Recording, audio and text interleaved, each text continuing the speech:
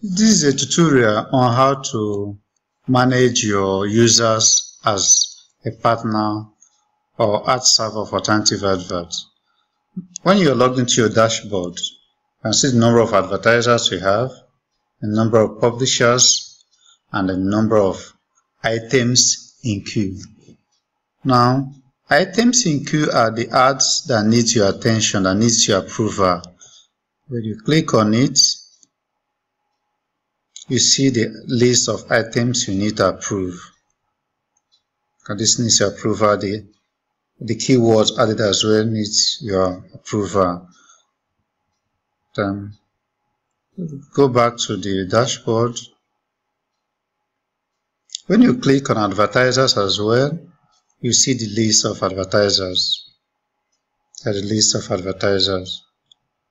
Um, the first option here allow you to log in directly into advertiser's account so you can help with editing or whatever you want to do for the advertiser.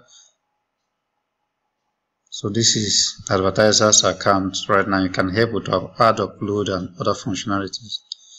Now back here, you see the number of ads the advertiser has. Okay, let me use the one that has ads.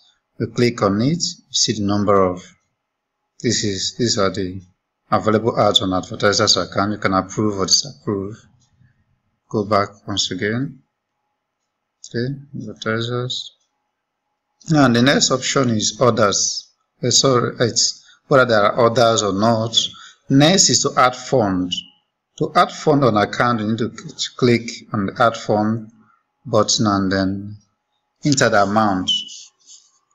And it's to the amount the you want to fund the advertiser's account with. Remember it's in dollars, so make sure you calculate it properly based on whatever the advertisers have paid.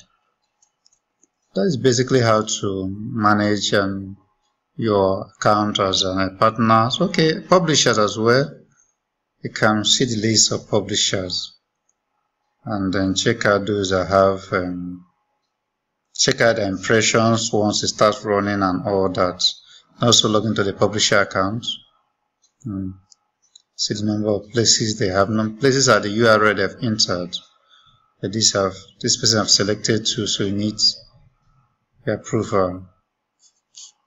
Look at this is that's just a little on how to manage uh, your users as a partner